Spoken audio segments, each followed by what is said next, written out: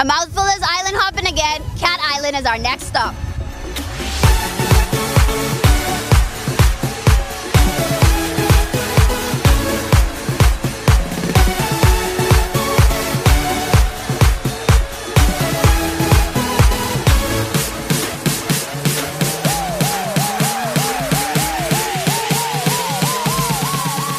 A Mouthful is brought to you by Bristol's Wines and Spirits and Premier Crew. BTC, every day.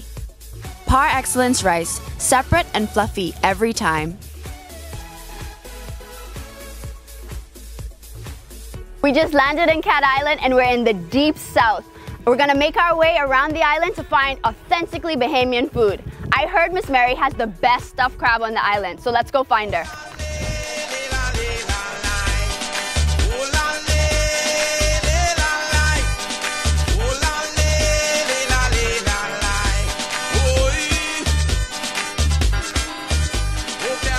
Was told Miss Mary makes the best stuffed crab on Cat Island. And so, of course, it makes sense that we have to visit her, right? So, Miss Mary, tell me, how long have you been making stuffed crab? I was making it, um, I say about a year now. A year! Wow! And so, who taught you?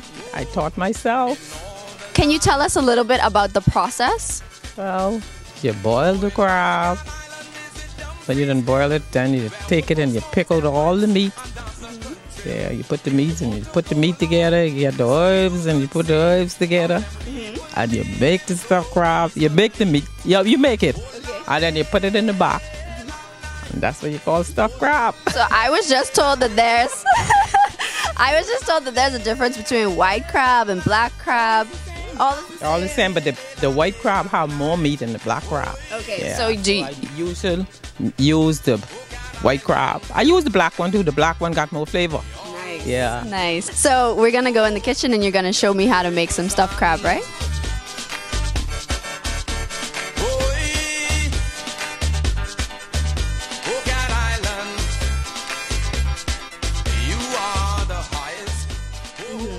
Seems like such a long process. Yeah, it is. How long does it take? work. It's a lot of work. Yeah. Yeah. A labor of love for sure. They just call themselves Lacido.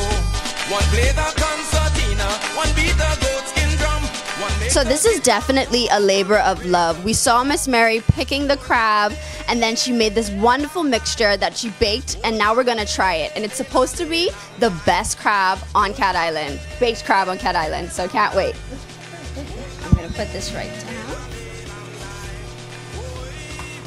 And it's it's very hot.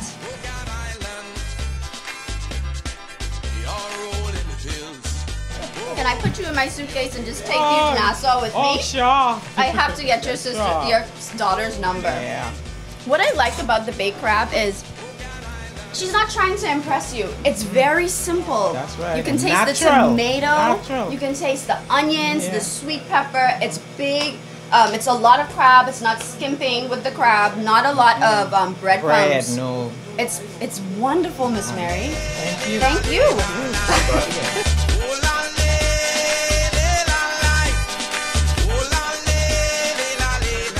you to know that we are in Miss Mary's kitchen. Hence, you can see all the sweat. That's you know, food is good when you're like sweating over it and just mixing. It's it's perfect. Thank you, Miss Mary.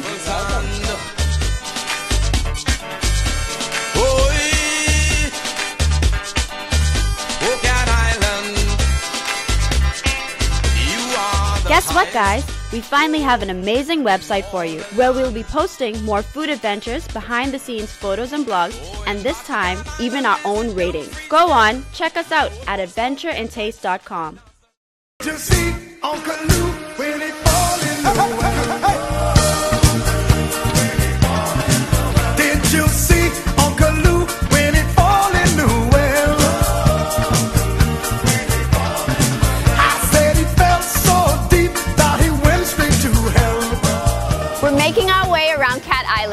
We just got done with Miss Mary's where we had delicious stuffed crab. And now we're at the regatta site to visit Hidden Treasures. I heard they make awesome smoothies using native plants and fruit. Avocado, tamarinds, all of the above. Let's check it out.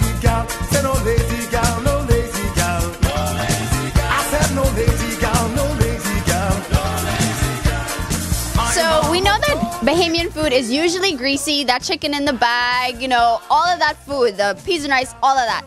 But Hidden Treasures has found a way to make Bahamian food um, nutritious. Yeah. You know, I have Miss Denise Bethel here, who's the owner of Hidden Treasures, and she decided not daiquiris but smoothies. So we have almond milk, we have avocado, fresh mango. She said she usually uses a- agave, but we're doing a simple syrup and then cinnamon.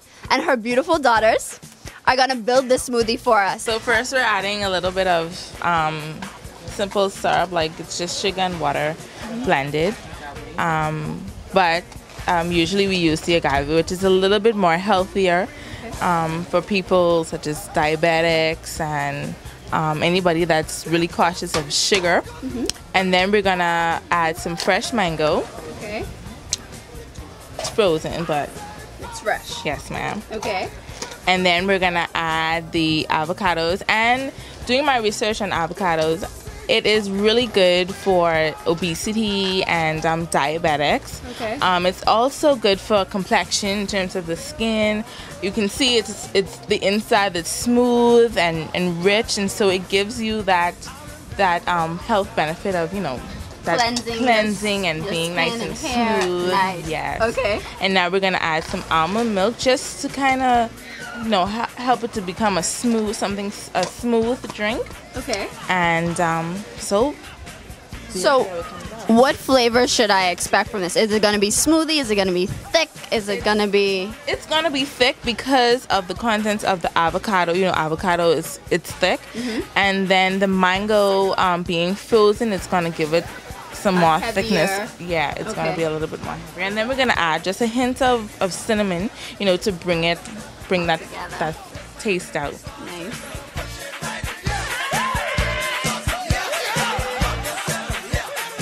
Okay. The moment of truth. It's very thick, like you said, and smooth.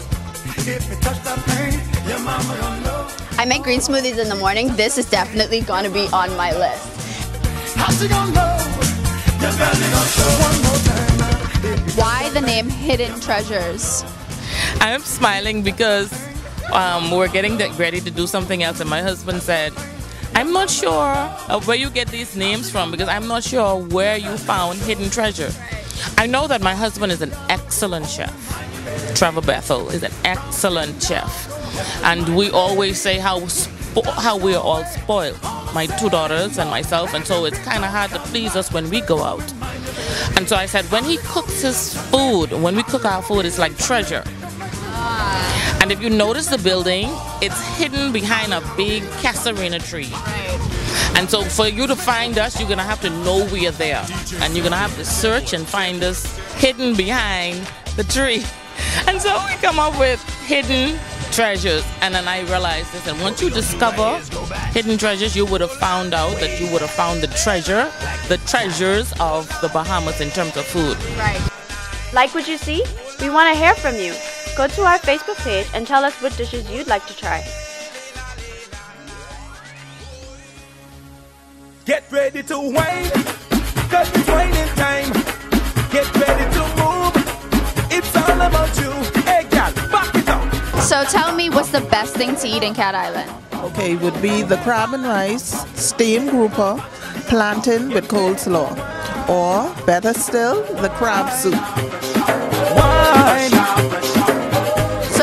If you had to say, tell me one food that describes Cat Island, what would that be? Uh, crack on. Crack Conch.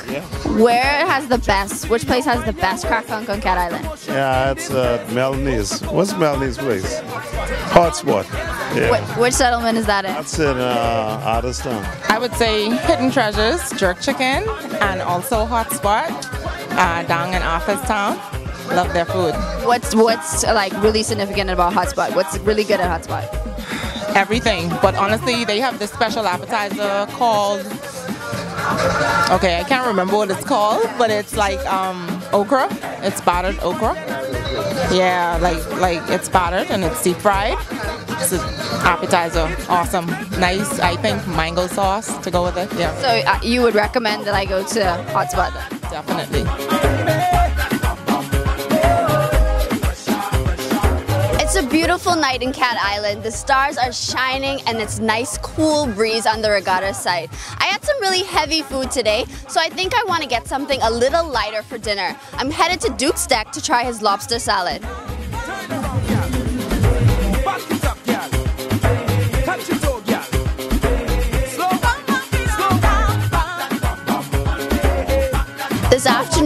Watched this guy bring in a ton of fish and a ton of lobsters. So we're at his stall because he's from the ocean to the table, Duke's Deck, and I want to know, Duke, what's your secret to great food? And I guess the secret is uh, make sure I make sure myself don't be no more than about maybe about four to five hours old. You know, Wow. yeah. I try go out I, I just about every day. Once a week, permit I out get my own fresh conch, fresh lobster, fresh grouper. So I make sure, and I have an excellent cook. You know, I, I heard you're the cook. yeah, that's, I am. Nice. nice. So, how long have you been open? Well, I was I doing. I mean, I was in fishing for a long time, but the Duke Deck was open now about about four years now. Uh, You know, get better, getting better with time. Nice. Good response.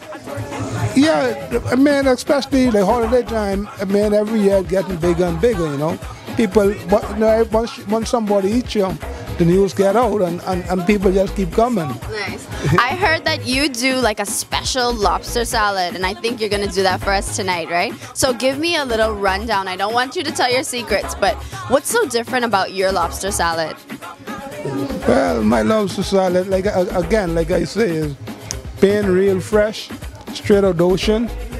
So it's it's that make it that make it real nice and tender. Okay. So the rest the, the rest go with just uh, the, a little TLC, you know. All right. So I'm loving that. right, right. Thank you, Duke. I can't wait to try it. Oh, yeah.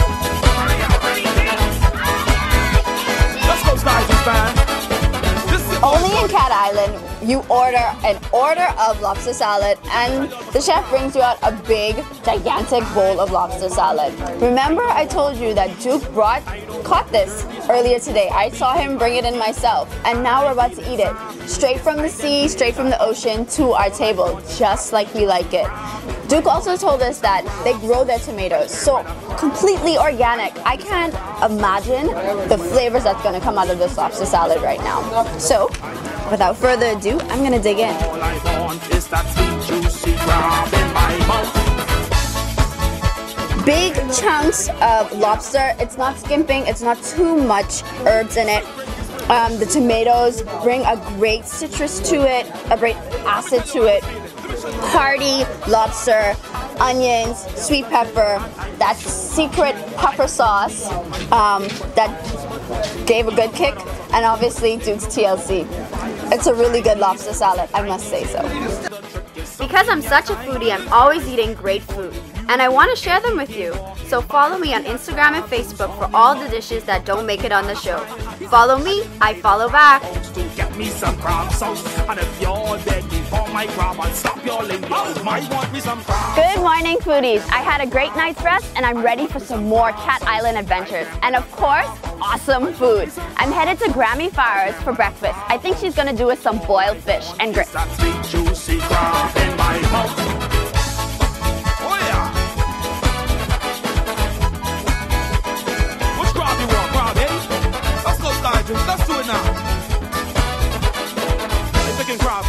I'm about to dig into Grammy Farah's boiled fish.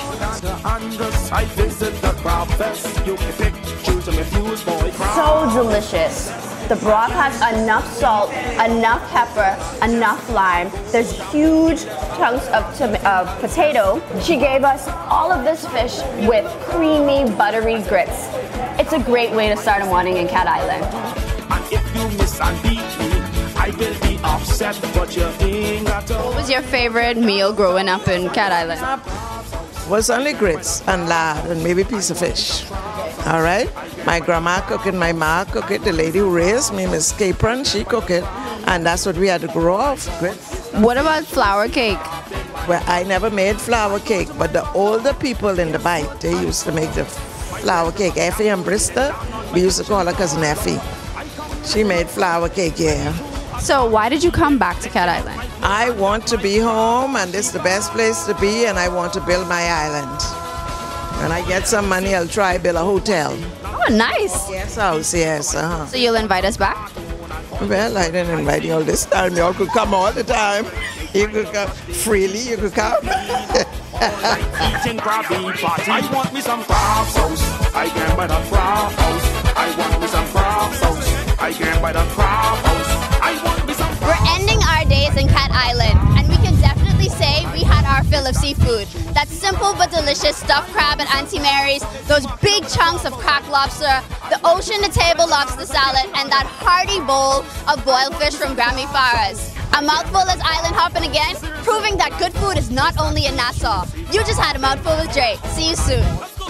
Promotional consideration brought to you by thebahamasweekly.com, bahamaslocal.com, bahamianonnutton.com.